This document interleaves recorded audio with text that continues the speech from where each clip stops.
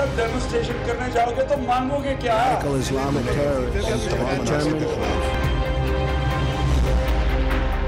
कमर जमान चौधरी से कानून नाराज़ था। नए चेयरमैन नैब माहिर कानून है। कड़ा एहतसाब। जस्टिस जावेद इकबाल रिटायर्ड के लिए बड़ा इम्तिहान है। हुकूमत अपोजिशन और अवाम ने अलग अलग उम्मीदें लगा ली।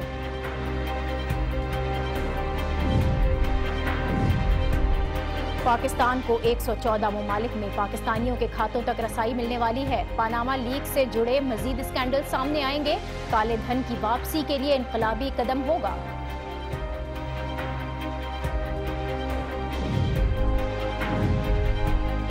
पाकिस्तान ने अमरीका पर इन्हिसार करना छोड़ दिया है। वज़ीर आज़म शाहिद खाकान अब्बासी ने अमरीकी वक्त की आमद से पहले ही वाज पैगाम दिया है। अमरीका दहशत गर्दी के खिलाफ कुर्बानियों का एतराफ़ करे, साथ ही सी पैक पर एतराज़ ना करे। और लाहौर में हुकूमती गाड़ी खूब चल रही है। मेट्रो, बस के बाद ऑरेंज लाइन ट्रेन भी सड़कों पर आ रही है। कराची में ट्रांसपोर्ट के ख्वाब दिखाने वाली सिंध हुकूमत मुँह छुपा रही है।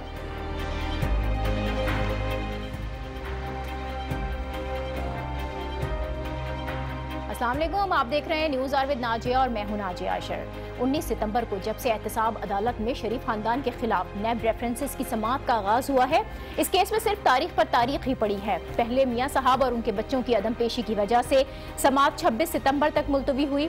फिर 2 अक्टूबर का दिन आया, हसन हुसैन और मरियम नवाज़ के पेश न होने पर नवाज़ शरीफ पर फर्द जुर्म आयद नहीं हो सकी। आज एक बार फिर समात तेरह अक्टूबर तक के लिए मुलतवी की गई है। तेरह अक्टूबर को नवाज़ शरीफ, मरियम नवाज़ और कैप्टन सफदर रिटायर्ड पर फर्द जुर्मायत की जाएगी।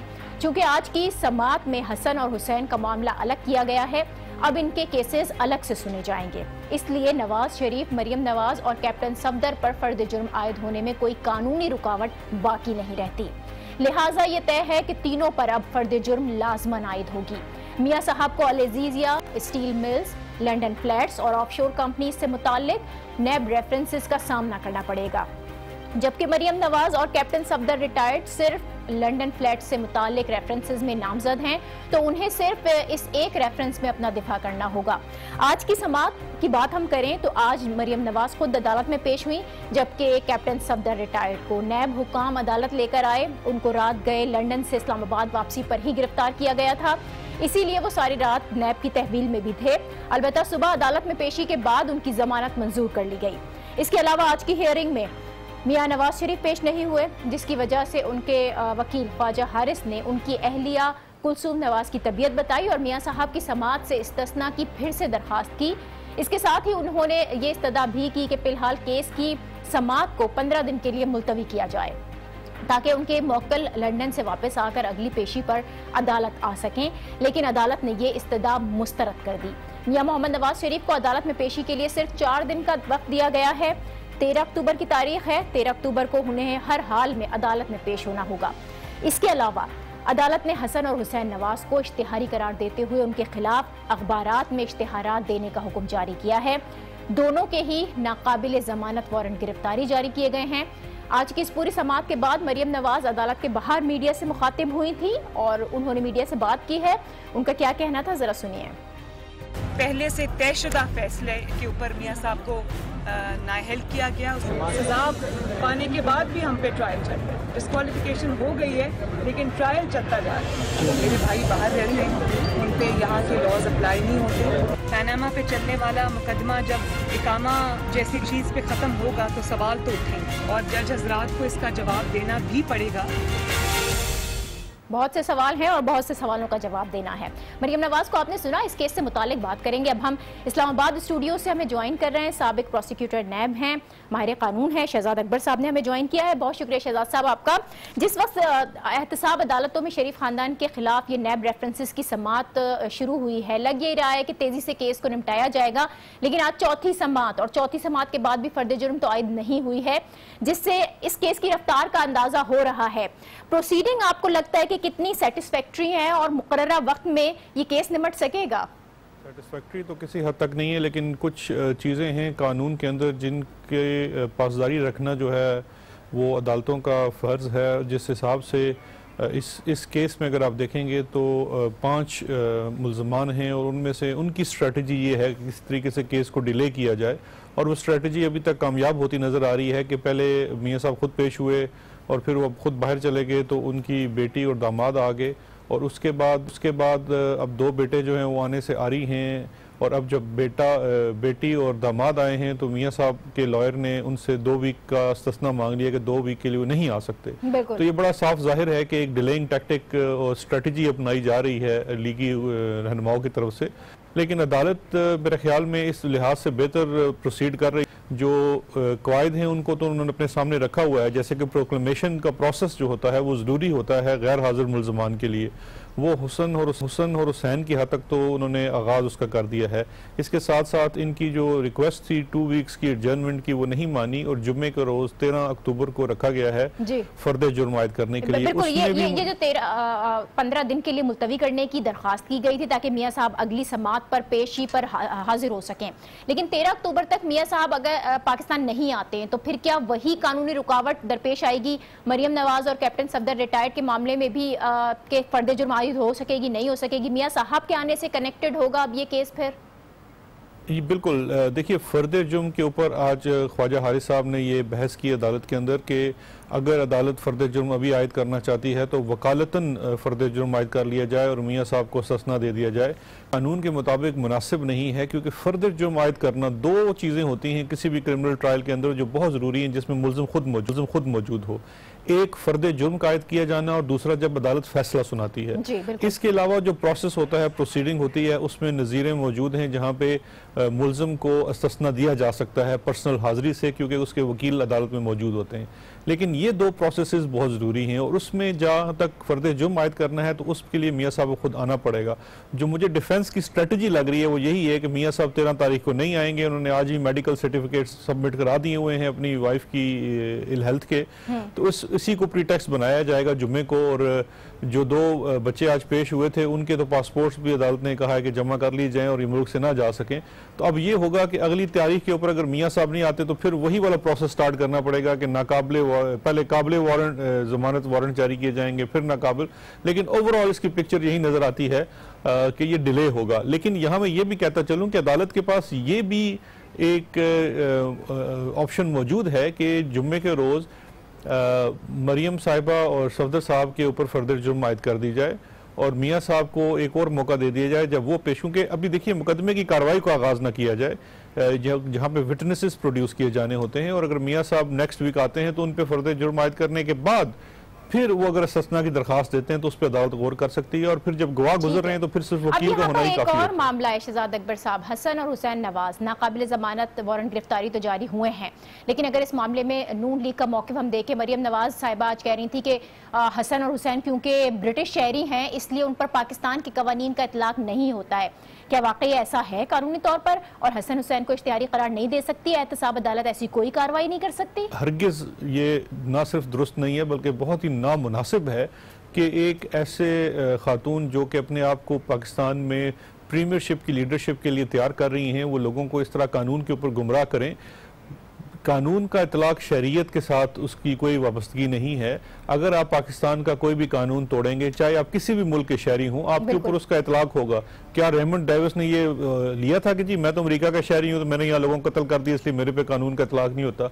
या क्या कोई पाकिस्तानी बाहर जाके जब कोई कानून तोड़ता है तो कहे जी कि मैं तो पाकिस्तानी हूँ बरतानिया के कानून का मुझ पर इतलाक नहीं होता? ऐसा हरगिज नहीं होता ये बड़ी बचगाना सी बातें और इन्हें ऐसी बातें करने से गुरेज करना चाहिए। जहाँ तक उनकी बरतानवी शहरीत का ताल्लुक है तो मेरी इतला के मुताबिक वो डुअल नेशनल हो सकते हैं या उनके पास बरतानिया की रेजिडेंसी होगी। तो किसी भी सूरत में उनके ऊपर पाकिस्तानी कवानीन का अतलाक होता है और जो केस उनके ऊपर है, हमें वो नहीं भूलना चाहिए कि केस उनके ऊपर हसन हुसैन के ऊपर ये है कि उन्होंने अपने वालिद साहब के पब्लिक ऑफ़िस होल्डर के होने का नाजायज इस्तेमाल करते हुए पाकिस्तान से दौलत कमाई और बाहर लेके गए मनी लॉन्ड्रिंग के चार्जेस हैं। ये बड़े सीरियस एलिगेशन हैं और इन एलिगेशन के ऊपर इनको फोकस करना चाहिए। ना सिर्फ़ ये कि वो कहें कि जी नए नए एक तो जियात लेके आए कानून के ऊपर एलिगेशन पर फोकस तो करना चाहिए लेकिन अब एहतसाब अदालत के हुक्म के बाद हसन हुसैन इश्तेहारी बन चुके हैं। इस सूरत में अब वतन वापसी पर उनके साथ क्या होगा? अगर अदालत में पेशी के लिए वो वापस आते हैं तो क्या उनको भी कैप्टन सफदर की तरह से गिरफ़्तार किया जा सकता है? हिरासत में रखेगी नैब और अगर वो नहीं आते तो फिर क्या तो है कि अभी इश्तियारी करार नहीं दिए गए अभी उनको इश्तियारी करार देने के प्रोसेस का आगाज़ किया गया है। जबता फौजदारी के तहत ये छह हफ्तों का तकरीबन मैक्सिमम प्रोसेस होता है जिसके अंदर कोर्ट के एहलकार इनकी रिहाइश के ऊपर जाके इश्तारों को चस्पा करते हैं अखबार के अंदर इश्तार दिए जाते हैं उसके बाद फिर ये प्रोक्लेमेशन का प्रोसेस पूरा होता है। लेकिन एक आज जो अहम चीज़ आज हुई है, वो इनके दायमी वारंट अरेस्ट जारी कर दिए गए हैं, यानी कि परपेचुअल वारंट्स ऑफ़ अरेस्ट जिनका मतलब ये है कि पाकिस्तान के तमाम इदारे जिनके पास अरेस्ट के इख्तियार हैं, वो अब इस हुक्म के ताबे हैं कि उन्हें हसन और हुसैन जहाँ भी अपनी जुरिस्डिक्शन के अंदर मिले, उन्हें अरेस्ट करके अदालत में पेश किया जाए। ये एक अहम पेशरफ है और दूसरी बात यह है कि चूँकि केस को आगे बढ़ाना है तो उसको बढ़ाने से पहले इनको इश्तियारी करार देना और इनकी जायदादों की जब्तगी की कार्रवाई करना लाजिम है। जैसे वो होती है तो इनका केस अलग हो जाएगा। फिर उसके बाद अगर ये सारे ट्रायल में पेश नहीं होते, उससे कोई फ़र्क नहीं पड़ेगा। जो मुलजमान अदालत में हाजिर है, उनके खिलाफ केस की कार्रवाई होगी। लेकिन अगर ये गल्फ बिलफर्स पाकिस्तान में वापस आते हैं तो इनके वारंट्स की जो स्टेटस है वो ये है कि अब ये गिरफ़्तार होंगे और गिरफ़्तार होने के बाद जैसे आज सफदर साहब को अदालत में लाया गया तो वही वाला प्रोसेस दोहराया जाएगा। उसके बाद ये अदालत की डिस्क्रेशन होगी कि इनके प्रीवियस कंडक्ट को देखते हुए या इनको जमानत पे मुचलकों के साथ रिहा किया जाए, या इनको जेल भेज दिया जाए और मुकदमा चलाते रह जाए। तो जब आप परपेचुअल आपके वारंट्स ऑफ़ अरेस्ट इश्यू हो जाते हैं और आप इश्तियारी हो जाते हैं तो अदालत की नज़र में आपका किरदार थोड़ा सा मशकूक हो जाता है। फिर जो लीनियंसी अच्छा, होती है बेल की वो मिलना मुश्किल हो जाती है। हेयरिंग के बाद कुछ इस तरह की भी इतलात आ रही थी कि नैब की टीम है लंदन जाएगी वो लंदन फ्लैट से मुतालिक कुछ सबूत इकट्ठे करने। क्या केस पहले शुरू हो गया है? नैब अब मजीद सबूत इकट्ठे कर रही है इसके? देखिए मुझे इस इतला का कोई इल्म तो नहीं है लेकिन जहाँ तक केस की बात है तो इसमें एक चीज़ ज़रूर है कि इस केस के अंदर उन्होंने सप्लीमेंट्री चलान फ़ाइल भी करने का कहा हुआ है कि ये भी प्रोविजनल रेफरेंसेस फ़ाइल हुए हैं। जिसमें जो जेआईटी ने इंटरनेशनल म्यूचुअल लीगल रिक्वेस्ट की हुई थी जिसके नतीजे में कुछ और सबूत भी आने थे। वैसे तो इस वक्त जो सबूत उनके पास हैं वो काफ़ी हैं इनको सजा दिलवाने के लिए। इस बुनियाद के ऊपर रेफरेंस फ़ाइल किया गया है। लेकिन अगर नैब की कोई टीम जा रही है तो वो शायद इसी चीज़ के ऊपर जा रही है कि जो फर्दर उन्होंने रिक्वेस्ट की हुई थी उनमें से अगर कोई मजीद शवाहद मिलते हैं तो उन्हें भी पाकिस्तान लेके आए। तो दौरान ट्रायल तो वो ज़रूर सबूत इकट्ठे कर सकते हैं क्योंकि वो जैसे जैसे सबूत आएँगे क्योंकि जब तक प्रोसिक्यूशन का केस क्लोज नहीं होता प्रोसिक्यूशन के पास पूरा मौका होता है कि वो कोई भी सबूत पेश तो कर सके। साहब एक फैक्ट यहाँ पर ये भी तो है कि नैब का इस मामले में खुद से इनपुट तो इतना नहीं है। मुकम्मल तौर पर जो जीआईटी की रिपोर्ट है उस पर ये रेफरेंसेस तैयार हुए हैं। नैब किस तरह से इल्ज़ाम साबित करेगा? इल्ज़ाम साबित करने के लिए कहीं जेआईटी के जो अरकान है उनको बुलाना पड़ेगा? देखिए अरकान के नहीं होते ये जो एसेट्स के रेफरेंसेस होते हैं बियॉन्ड सोर्सेज के इसमें मोस्टली डॉक्यूमेंट्री एविडेंस होता है। यानी कि आपको जायदाद और बैंक की जो डिटेल्स होती हैं वो अदालत को मुहैया करनी होती हैं जिसके ऊपर यह खस किया जाता है कि ये जायदाद किसी एक शख्स की है। फिर उससे सवाल किया जाता है कि आपके पास क्या जायज़ ज़राए थे ये जायदाद बनाने के? तो वो जे ने जितना एविडेंस गैदर किया उस एविडेंस के नतीजे में वो कागजात तो मौजूद हैं रेफरेंस की कापियों के साथ वो लगे हुए हैं। इसमें जे के अरकान को ये लाना और उनसे ये कहना कि आप देखें ये कानून शहादत के कुछ असूल होते हैं जिसके तहत आप अगर आपके पास डॉक्यूमेंट है तो वो प्राइमरी एविडेंस बन जाता है और वो प्राइमरी एविडेंस ही काफ़ी होता है। जिसने उस डॉक्यूमेंट को अदालत में पेश करना होता है उसकी गवाही ज़्यादा मैटर नहीं करती डॉक्यूमेंट ज़्यादा मैटर करते हैं। तो ये फिर प्रोसिक्यूशन के ऊपर होगा कि जिन शवाद की बुनियाद के ऊपर उन्होंने रेफरेंस फ़ाइल किया चेयरमैन नैब ने उसके ऊपर साइन किए उन्हीं तमाम सबूतों को वो अदालत में पेश करें और वो मोस्टली डॉक्यूमेंट्री एविडेंस होता है कागजात चेयरमैन नैब का आपने बात की है अभी तो मेरा आखिरी सवाल आपसे यही है। अहम केस की हियरिंग है। इसके दौरान ही चेयरमैन नैब की तब्दीली भी हुई है। कमर जमान चौधरी की अहदे की मुद्दत ख़त्म हो रही है। जावेद इकबाल साहब नए चेयरमैन नैब हो जाएँगे। कोई तब्दीली इस केस पर असरअंदाज दो तरह की उम्मीदें की जा रही हैं। मेरा ख्याल है कि एक आम लोगों की जो इस पर उम्मीद है वो शायद ये है और इसमें अपोजिशन पार्टियाँ भी शामिल हैं कि शायद नया चीफ एहतसाब लगाने से कोई ज़्यादा कड़ा एहतसाब होगा। अकाउंटेबिलिटी का प्रोसेस बेहतर ये तो एक अवाम की तरफ़ से एक्सपेक्टेशन है या अपोजिशन की तरफ़ से एक्सपेक्टेशन है। चूँकि ये हुकूमत की तरफ़ से लगाए गए हैं और फाइनल से हुकूमत की होती है उनकी एक्सपेक्टेशन ये होगी कि जो उनकी इस वक्त सिचुएशन है क्योंकि आप इसमें थोड़ा सा ये देखें कि जो इम्प्लीमेंटेशन के लिए एक निगरान जज मुकर किए गए हैं सुप्रीम कोर्ट के। और जो इस वक्त चेयरमैन नैब लगाए गए हैं ये काफ़ी सीनियर जज रह चुके हैं सुप्रीम कोर्ट के।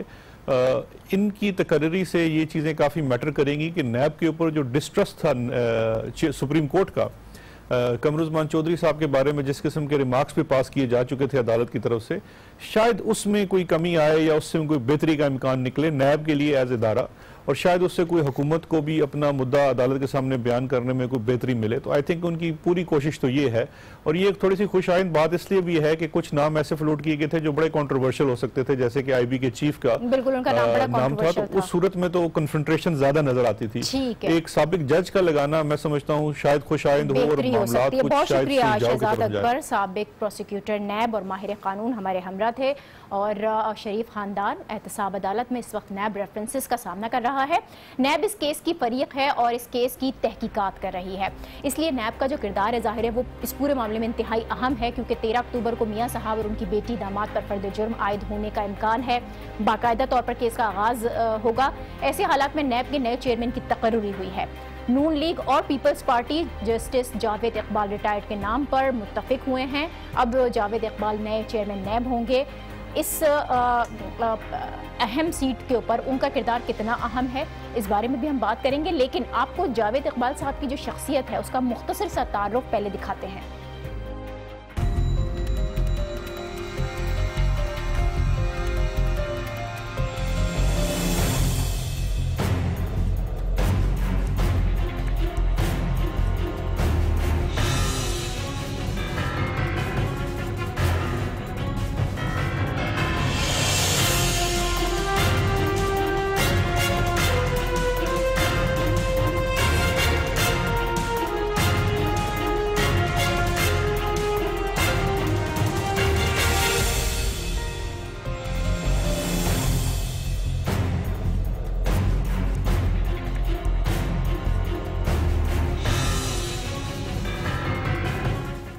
जस्टिस जावेद इकबाल रिटायर्ड, का मुख्तसर सा तारुफ आपने देखा।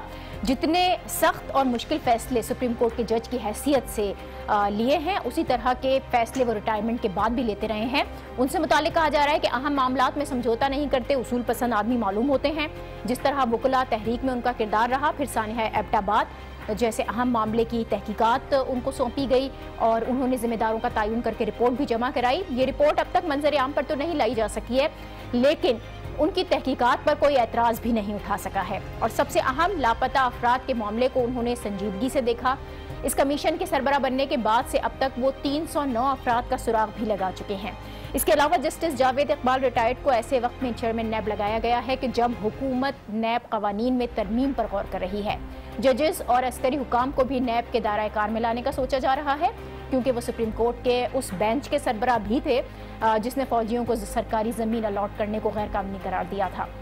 इस केस में उन्होंने मशहूर अमरीकी नावल ग्रेप्स ऑफ़ रेथ का हवाला दिया था और ये कहा था कि जब दौलत चंद हाथों में जमा हो जाए तो वहाँ इनकलाब आ जाते हैं। अब नैब की सरबराही के वक्त उन्हें अपना फैसला याद रखना होगा, क्योंकि अब तो दौलत चंद हाथों में ही है तो क्या अब इनकलाब आएगा? इसी के साथ यहाँ पर हम एक ब्रेक लेते हैं और इस, ब्रेक के बाद कुछ और अहम खबरें उन पर बात होगी। देखते रहिए, न्यूज़ आवेद Nazia.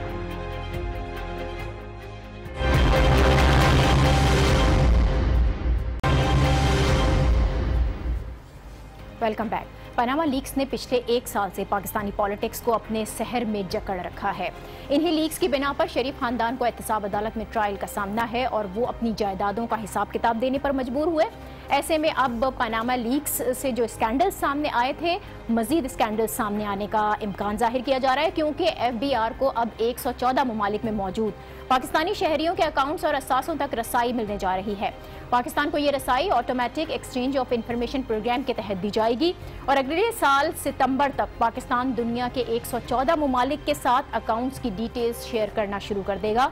यहाँ पर इंपॉर्टेंट बात यह भी है कि जिन जिन ममालिक में पाकिस्तानी शहरियों के खातों तक एफ़ बी आर को रसाई हासिल होगी, उनमें ब्रिटिश वर्जिन आइलैंड भी शामिल है, जहाँ शरीफ खानदान इमरान खान और जहांगीर तरीन ने अपनी अपनी ऑफशोर कंपनीज़ बना रखी थी। जिसका इंकशाफ पानामा लीक्स में किया गया। तो अब जब एफ़ बी आर को यहाँ बरह रास्त पाकिस्तानी शहरियों के खातों तक रसाई मिलेगी तो और कितने स्कैंडल सामने आ सकते हैं? इस बात का अंदाज़ा लगाना ज़्यादा मुश्किल नहीं है। इसके अलावा, इस माहे के तहत स्विस अकाउंट्स तक भी एफ़ बी आर को रसाई हासिल होगी और इस इंफॉर्मेशन का तबादला ऑटोमेटिकली होगा। तो बड़ा इनकलाबी इकदाम ये साबित हो सकता है जिससे काले धन को कंट्रोल करने में बड़ी हद तक मदद मिलेगी। इसी पर हम बात करेंगे। हमें टैक्स एक्सपर्ट अनवर काशिफ मुमताज़ ने ज्वाइन किया है। बहुत शुक्रिया अनवर साहब आपका।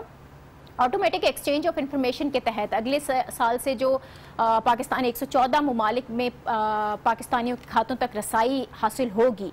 आपको क्या लगता है कितने बड़े स्कैंडल्स इसमें सामने आ सकते हैं?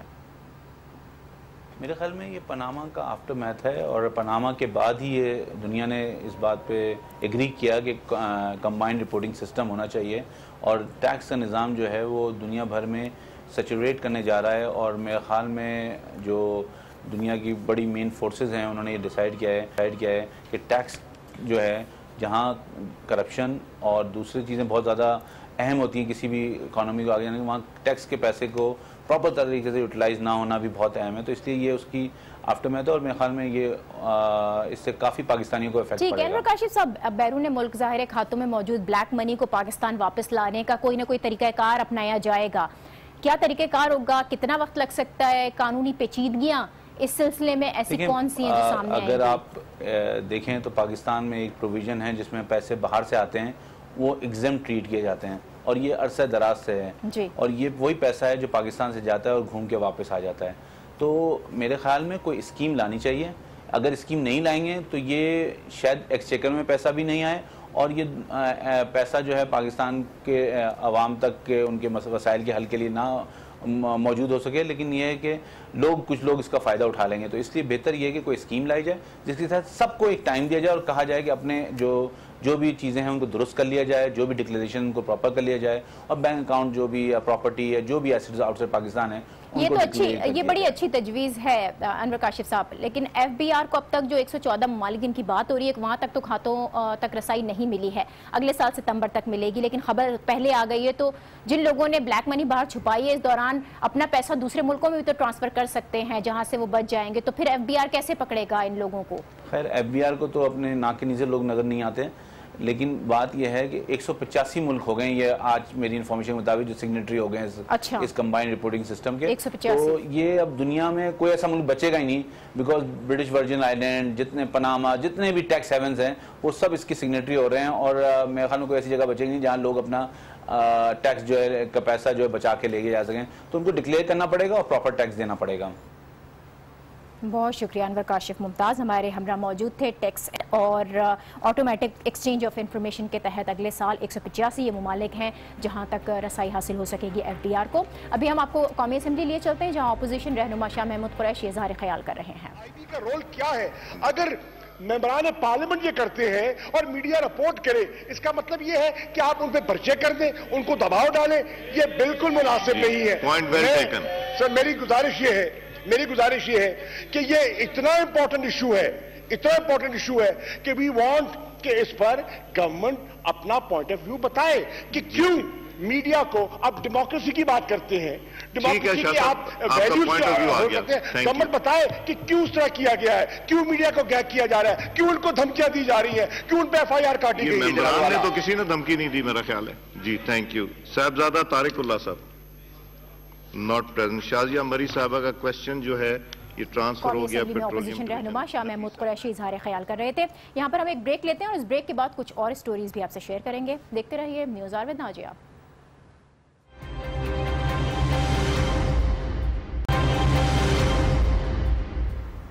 Welcome back. ऐसे हालात में कि जब पाक अमरीका ताल्लुक कशीदा हैं और इस कशीदगी के खात्मे के लिए अमरीकी वजी खारजा और वजी दिफा इस माह के आखिर तक पाकिस्तान आने वाले हैं। ऐसे में वजी अजम वजी अजम शाहिद खाकान अब्बासी ने अरब टी वी को आज इंटरव्यू दिया और उन्होंने एक वाज मौक़ अपनाया है कि पाकिस्तान के अमरीका पर इहिसार के दिन ख़त्म हो चुके हैं एक ज़रिया बंद हो जाए तो दूसरी तरफ़ जाने के सिवा कोई चारा नहीं होता वजी अजम ने इस इंटरव्यू में दुनिया पर ज़ोर दिया है कि दहशत गर्दी के खिलाफ पाकिस्तान की कोशिशें हैं इन कोशिशों का एतराफ़ किया जाए मौजूदा सूरत हाल में बयान अहम है लेकिन इसके साथ ही ये बयान ऑब्वियस भी नज़र आ रहा है क्योंकि अब अमरीका सिर्फ़ दहशत गर्दी के खिलाफ पाकिस्तान की कोशिशों पर तनकीद नहीं कर रहा अब बात आ गई है सी पैक तक पाक चीन इकतदी राहदारी पर भी एतराज़ उठा रहा है। अमरीका का एतराज़ है कि वन रोड, वन बेल्ट मनसूबा चूँकि एक मुतनाज़ इलाके से गुजरता है, इसलिए ये खत्े में किसी तनाज़े की वजह बन सकता है। ये तकरीबन वही एतराज़ है जो कि भारत ने सी पैक पर उठाया है और मुस्तकिल उठाता चला आ रहा है। इस हवाले से चीन और भारत की फौजें भूटान के करीब सरहदों पर आमने सामने। और अब ये इतलात हैं कि अमरीकी वज़ीर खारजा और वज़ीर दिफा दौरा पाकिस्तान में सी पैक का मामला ही उठाने वाले हैं। तो इस एतबार से ये दौरा कितनी अहमियत का हामिल होगा? सवाल क्या होगा? और यहाँ से जवाब क्या दिया जाएगा? इस पर हम बात करेंगे। हमें माहिर इंटरनेशनल एक्सपर्ट तजियाकार रऊफ़ हसन साहब ने ज्वाइन किया है। बहुत शुक्रिया रऊफ़ हसन साहब आपका। वज़ी अजम का आज का इंटरव्यू आपने देखा होगा। अमरीका पर इहिसार का जो हमारा वक्त था वो पूरा हो गया, उनका कहना है। अब अमरीकी वज़ीर खारजा और वज़ीर दिफा ने आना है पाकिस्तान। डू मोर का सवाल होगा, नो मोर जवाब होगा। आप समझते हैं जो भी डेवलपमेंट्स होंगी, पाकिस्तान तैयार है उसके लिए? देखिए, पाकिस्तान या किसी भी मुल्क को हमेशा इस किस्म की डेवलपमेंट्स के लिए तैयार होना चाहिए और ये जो सिचुएशन आज क्रिएट हुई है ये कोई एक दिन या दो दिन या दस दिन में नहीं हुई ये बहुत देर से ब्रू हो रही थी। और मेरा ख्याल है कि कोई भी सॉवरन मुल्क जो है वो आ, अपने आप को तैयार करता है इस किस्म की सिचुएशन के साथ डील करने के लिए जो आज क्रिएट हो चुकी हुई है।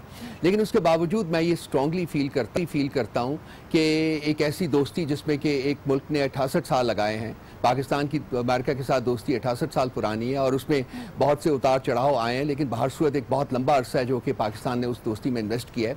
सो so, उसको दोनों तरफ़ से इस किस्म की स्टेटमेंट्स जो कि प्राइम मिनिस्टर साहब कह रहे हैं या उधर से भी जनरल मैटर्स की स्टेटमेंट आई है उससे गुरेज करना चाहिए। लेकिन सिचुएशन ऐसी लग रही है कि प्रेसिडेंट ओबामा के जो उन्होंने पॉलिसी अनाउंस की थी अपनी स्पीच में अफ़गानिस्तान और साउथ एशिया के लिए उसके बाद से टेंशन जो हैं वो उसमें किसी किस्म की कमी होती हुई नज़र नहीं आ रही। क्योंकि एक तरफ़ तो अमेरिका बहुत ज़्यादा इंसिस्ट कर रहा है कि प्रेसिडेंट ट्रंप की स्पीच में जो नकात उठाए गए थे, उनके ऊपर वो चाहता है कि पाकिस्तान अमल करे। उसमें से ज़्यादा, उसमें से बहुत से इम्पोर्टेंट बहुत से इम्पोर्टेंट जो पॉइंट है, वो टेररिज्म के जो जो सेंचुरीज़ हैं, जो कि एलेज करता है अमेरिका के पाकिस्तान में मौजूद हैं, उनको हटाया जाए, उनको ख़त्म किया जाए। इसके अलावा वो एक रीडिफाइन कर रहा है इंडिया का रोल अफ़गानिस्तान में और पाकिस्तान के ऊपर और भी जो प्रेशर्स हैं, वो बढ़ते हुए नज़र आ रहे हैं। और जी और इसलिए मैं फील करता हूँ कि जबकि पाकिस्तान को तैयार रहना चाहिए इस किस्म की सिचुएशन के लिए ये लेकिन कोशिश ये होनी चाहिए कि ये जो अठासठ साल जो आपने इस दोस्ती में इन्वेस्ट किए हैं उसको आप इतना ब्रस्टली यू नो उनको ख़त्म करने के बारे में मत सोचें। ठीक है पाकिस्तान तो तैयार है लेकिन वजी अजम शाहिद खाकान अब्बासी ने ज़ाहिर है उसको इस तरह से वाजे किया है कि अगर एक ज़रिया बंद हो जाता है तो दूसरी तरफ़ जाने के सिवा कोई चारा नहीं होता है। पाकिस्तान ने भी अमरीकी वजी खारजा के दौरे से पहले ही अमरीका को पैगाम दे दिया इसका मतलब खाकान अब्बासी साहब का ये कहना कि जी एक अगर सोर्स ख़त्म हो जाए तो दूसरी की तरफ़ जाने के अलावा चारा कोई नहीं रहता। ये इंतहाई गलत फॉरेन पॉलिसी है उसकी निशानदेही करती है। किसी भी सॉवरन मुल्क को खुद मुख्तार मुल्क को हमेशा एक सोर्स के ऊपर बैंक नहीं करना चाहिए। ऐसी पॉलिसी नहीं बनानी चाहिए कि वो किसी कि वो किसी भी एक मुल्क या एक सोर्स का कैप्टिव होकर रह जाए। अनफॉर्चुनेटली शायद खाकान अब्बासी साहब की स्टेटमेंट ने पाकिस्तान की फॉरेन पॉलिसी का वो अंसर उजागर किया है जो कि इसका सबसे कमज़ोर अंसर है कि हमेशा ये किसी ना किसी, किसी मुल्क के आगे किसी के साथ उसके हाथों कैप्टिव बना रहता है उसके हाथों गिरफ़्तार रहता है और एक एक एक खुद मुख्तार मुल्क के तौर के ऊपर इसको जो अपनी पॉलिसी ऑप्शन एक्सरसाइज करने चाहिए वो अनफॉर्चुनेटली ये उन हालात में नहीं कर सकता। तो ये पॉलिसी भी गलत थी कि अमेरिका सिर्फ़ एक सोर्स है जिसके ऊपर पाकिस्तान डिपेंडेंट था। और अगर आज पाकिस्तान ये सोच रहा है कि अमेरिका, चूँकि अब पाकिस्तान के साथ इतने करीबी ताल्लुक शायद नहीं रखना चाह रहा तो इसलिए हम किसी और सोर्स के पास जाके उसकी में बैठ जाएँगे तो ये भी एक गलत पॉलिसी हो गई।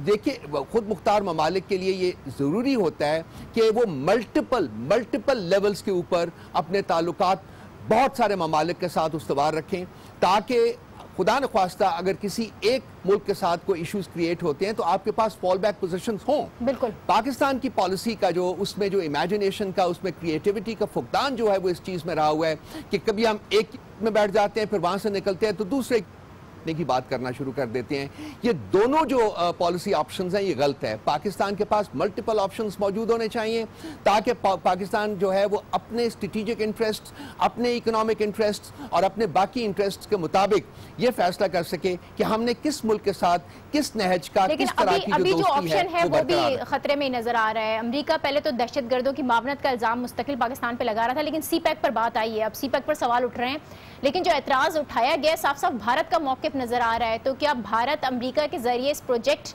से मुतालिक जो अपना मौकफ था वो अमरीका के मुँह से कहलवाना चाह रहा है? देखिए अमेरिका और भारत के स्ट्रेटिजिक इंटरेस्ट इस खत्े में यकजा हो चुके हुए हैं।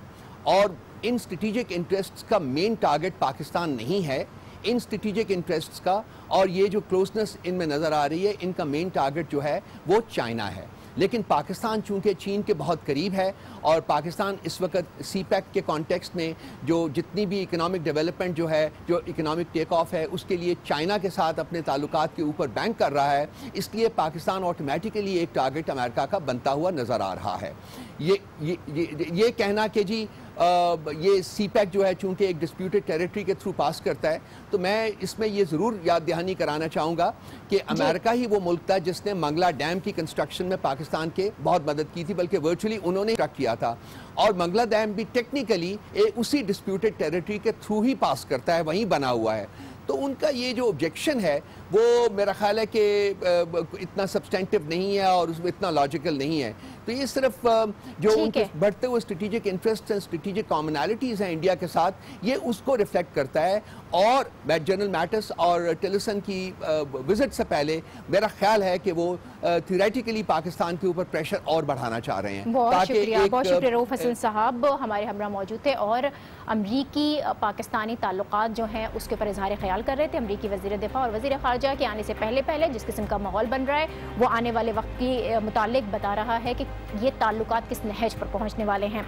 अब इंटरनेशनल स्टोरी के बाद हम आ जाते हैं थोड़ा सा मुल्क के अंदरूनी मामला की जानब। ट्रांसपोर्ट एक बहुत बड़ा मसला है। कल ही वज़ीर अला पंजाब शहबाज शरीफ ने ऑरेंज लाइन ट्रेन की बाकायदा नकाब कुशाई की है और इस नकाब कुशाई के बाद जो ट्रेन दिखाई दी है, कमाल कमाल ट्रेन है ये। यूरोपीय स्टैंडर्ड के मुताबिक नज़र आई और एक खाब की ताबीर से इसको जोड़ा जा सकता है। इस ट्रेन को बहुत ही शानदार मनसूबा कहा गया कि जिसका 25 दिसंबर से आगाज़ हो जाएगा।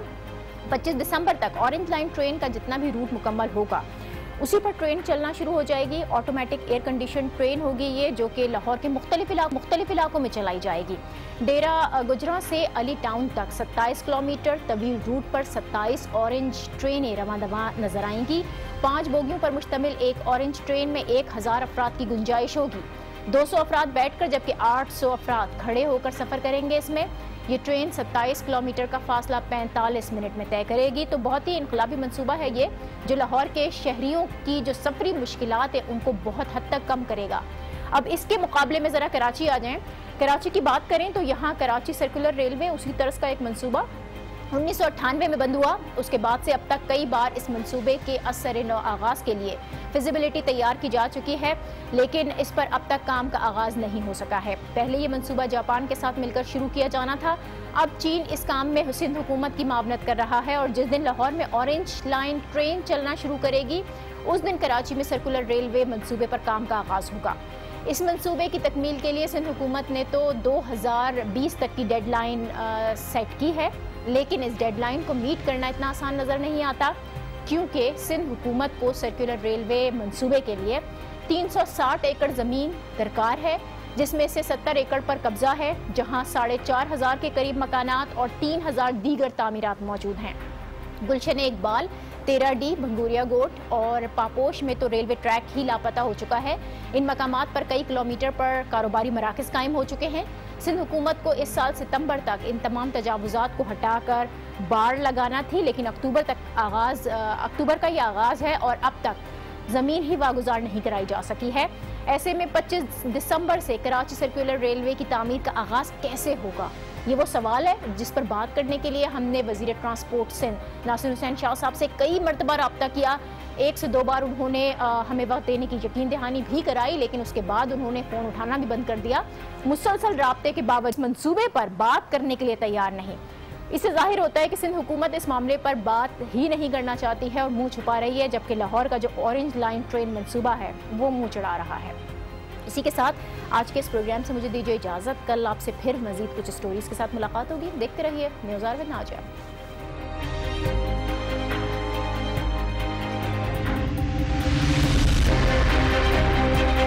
पढ़ने के लिए हमारे पास वक्त नहीं है।